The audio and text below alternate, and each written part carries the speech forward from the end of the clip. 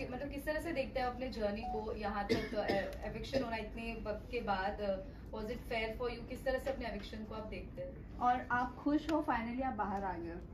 हाँ definitely uh, मैं बहुत ज़्यादा खुश हूँ। मतलब uh, मुझे तो ऐसा लगा था कि पता नहीं uh, शायद मैं बाहर आऊँगी या नहीं यू you नो know, मतलब because I was waiting for it desperately I am out and I am feeling relieved I am happy लेकिन सलमान जर्नी मतलब ऐसा था कि बहुत ही uh, पहले ऐसा था कि बम्पी रोड और फिर बीच में वो स्मूथ हो गया फिर वापस से बम्पी रोड में आ गई।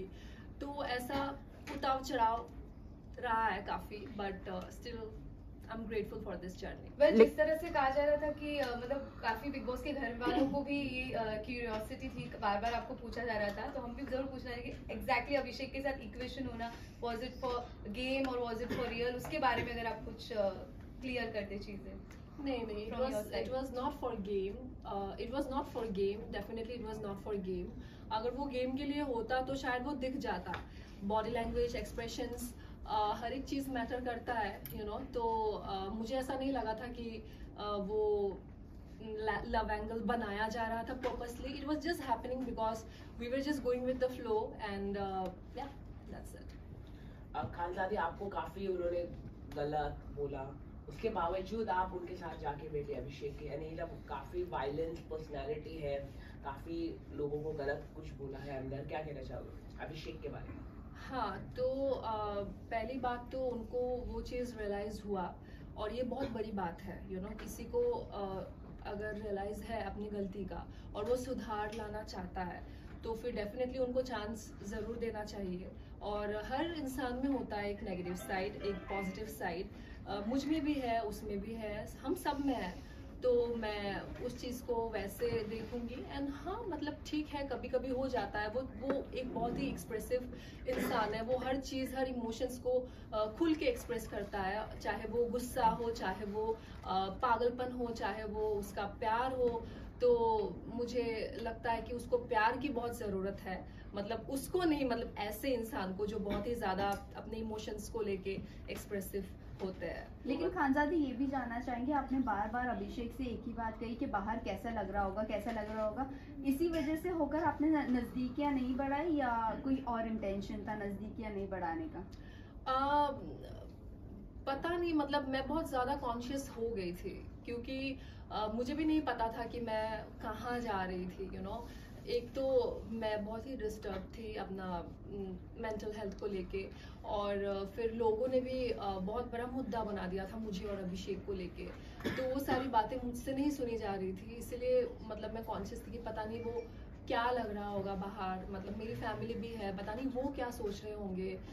मैं नेगेटिव लग रही हूँ या पॉजिटिव लग रही हूँ तो मैं पूछती रहती थी कि कैसा दिख रहा होगा। खानदारी अगर हम बात करें आपकी क्या आप आगे रिलेशनशिप बढ़ाएँगे अभिषेक? क्योंकि जो जानकारी हमें मिली है हम्म। अभिषेक काफ़ी थप्पड़ मारता है ईशा को थप्पड़ काफ़ी मारा है उन्होंने घर पर। ऐसा खुद ईशा ने बताया। तो क्या आप तैयार है इस तरह के वायलेंस बिहेवियर झेलने के लिए? क्योंकि अभिषेक का इस तरह का है। मतलब खुद ईशा ने बताया घर के अंदर ही सब क्रिमिनल ऐसा लोगों ने कहा है। इसके बारे में बात हुई। क्या कहना चाहोगे आप कितना अग्री करते हो ये ईशा की बात पर? देखिए पहली बात तो मुझे जिस गली जाना नहीं, उस गली का नाम नहीं लेना है। तो मैंने नहीं सोचा है इतना आगे तक कि झेलना पड़ेगा या ऐसा कुछ। वो बिग बॉस के घर बिग बॉस के घर के अंदर जो भी था, वो वो घर के हिसाब से था कि हम लोग एक ही जगह में थे, बंद थे। तो एक दूसरे को देखते थे, हमें अच्छा लगता था। So we were spending time together मैंने कुछ सोच के नहीं रखा है कि उसको मुझे झेलना पड़ेगा या फिर मैं डेट करूँगी या फिर यू नो जो भी उसका है डेफिनेटली किसी को अगर मैं डेट करना चाहूँगी देन आई मेक श्योर कि उस इंसान को मैं अच्छे से जानूं और ये इतनी छोटी बात नहीं है कि आप बस ये एक दो महीने में किसी को जान गए हो ऐसा it is it is not like that you know it takes time you know Khan so, और एक एक चीज़ है यू नो ये आप भले ही अभिषेक से क्लोज नहीं हो रहे थे hmm. आपकी लड़ाई भी हुई उनके साथ लेकिन जब बाद में एक और एक एक चीज़ सबसे ज़्यादा वायरल हो रही कि आप दोनों ब्लैंकेट के अंदर किस कर रहे थे वो आवाज़ आ रही थी हाँ। कितना फैक्ट है वो? नहीं वो बिल्कुल नहीं था। पता नहीं वो क्या आवाज़ था या क्या था आई डोंट अंडरस्टैंड वो कुछ कह रहा था मुझे जो वो सना को नहीं सुनाना चाहता था। और फिर मैं भी उसको कह रही थी कि you know what like she is I mean अच्छा नहीं दिख रहा होगा ये बाहर जो भी है. So it was like that खानसारी आपके अकॉर्डिंग सबसे अच्छी गेम कौन खेल रहा है और आप आप कौन क्या चाहती है कौन जीतेगी Uh, मैं चाहती हूँ कि ये जो गेम है बहुत ही अच्छे से बहुत ही शिद्दत से मुनावर uh, अभिषेक एंड अंकिता जी क्योंकि ये लोग काफ़ी पैशनेट है काफ़ी डेस्परेट है और काफ़ी डेडिकेटेड है। इस चीज़ को लेके। सो आई थिंक कि जो लोग अपना हंड्रेड परसेंट दे रहे हैं उन्हीं को ही आगे बढ़ना चाहिए और वो ये तीनों ही है। की बात करें तो स्टार्टिंग में आपका बॉन्ड मुनव्वर के साथ अच्छा था। ऐसा क्या हुआ जिसके बाद यू नो आपका बॉन्ड मुनव्वर के साथ खराब हो गया? खराब नहीं हो गया मतलब हमने एक डिस्टेंस मेंटेन करना शुरू कर दिया। It was because of Mannara क्योंकि मनारा यू नो सिर्फ़ मैं नहीं कह रही हूँ, वहाँ पे घर में बहुत सारे लोग हैं जो मानते हैं इस चीज़ को लेके कि मनारा अपने फ्रेंडशिप्स को लेके काफ़ी पोजेसिव है। और उन्होंने मुझे काफ़ी सारे टैग्स दिया था कि मैं उसको लेके इनसिक्योर हूँ, मैं उनको फॉलो कर रही हूँ, मैं उनके रास्ते पे आ जाती हूँ। पर ऐसा कुछ नहीं है, ऐसा अगर कुछ होता तो आप लोगों को दिख जाता वो चीज़। तो उसकी जो गलत फहमी है, उसको दूर करने के लिए मैंने, मैं खुद ही दूर हो गई। मतलब जिस जिन लोगों के साथ में वो क्लोज थी। वेल well, मनारा की अगर बात करें तो जब इनिशियल डेज़ में आप रात में जब भड़क जाती थी जो अंकिता भी बोलती कि रात में ड्रामा शुरू होता है उस वक्त मनारा ने कमेंट किया था that you are not normal वो भी अभिषेक और ईशा के साथ बैठकर। सो क्या कहना चाहोगे आप इस बात पर सभी भड़क जाते हैं। वहाँ पे कोई दिन नहीं होता रात नहीं होता। एक तो हमें समय का पता ही नहीं है क्योंकि बिग बॉस के घर में घड़ी भी नहीं है। तो लेकिन इतना पता है कि हर घड़ी बदलता रहता है लोग भी बदलते रहते हैं। तो वो उनकी सोच है मुझे लेके और ठीक है सबका अपना अपना सोच है। मुनावर को लेके आप क्या कहना जो एक छोटी सी क्लिक थी मुनावर ने इतना बड़ा बता दिया कि यार अंकिता को अंकिता ने सब कुछ जान लिया बाहर का सब कुछ जान लिया। मुनावर ने एक गेम खेला है क्या कहना चाहोगे उसको लेके? बहुत अ, काफ़ी अ, वो अनकंफर्टेबल महसूस कर रहे हैं अंकिता लोखंडे से क्या कहना चाहिए नहीं अनकंफर्टेबल नहीं कहूँगी मैं, क्योंकि उनको वो रिस्पॉन्सिबिलिटी मिली है, वो कैप्टन है तो उनको एक इन्फॉर्मेशन मिला अबाउट अंकिता जी। तो उनको सिर्फ़ अंकिता जी से ये बात कहनी थी, लेकिन उन्होंने विकी भाई को इंक्लूड कर दिया इसमें, जबकि बिग बॉस ने विकी भाई के बारे में नहीं कहा था। तो जैसे उन्होंने शुरू किया कि विक्की भाई और अंकिता तो विक्की भाई ने बिना उस चीज़ को समझे खुद बता दिया कि हाँ मेरा ये ट्रीटमेंट है। तो ये मुनावर का एक चालाकी है कि जो भी उन्होंने ये किया है। और वो बिग बॉस का बिग बॉस का क्या कहते हैं इसको?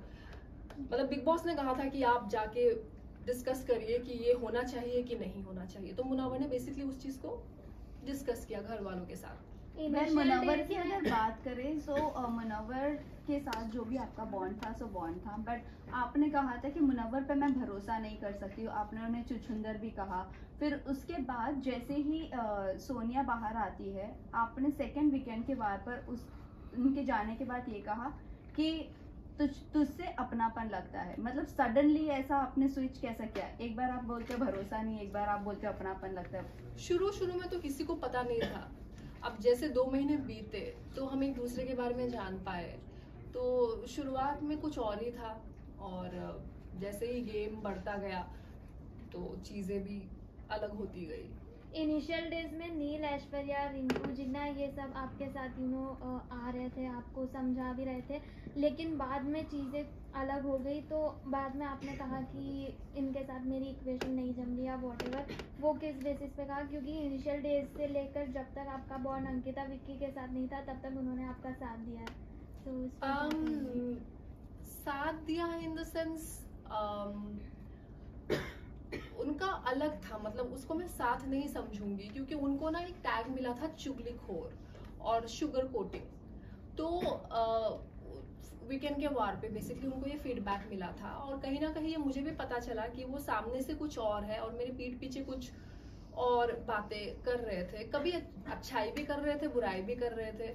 लेकिन मैं ऐसी हूँ ना कि मैं वहाँ पर किसी को ऐसा नहीं देखती कि ये किसका क्या स्टेटस है या किसका क्या एज है या किस everything is equal for me in that house तो शायद मैंने बहुत सारी चीज़ें उनकी परख ली थी और मैं मुँह पे बोलती थी जो उनको अच्छा नहीं लगता था।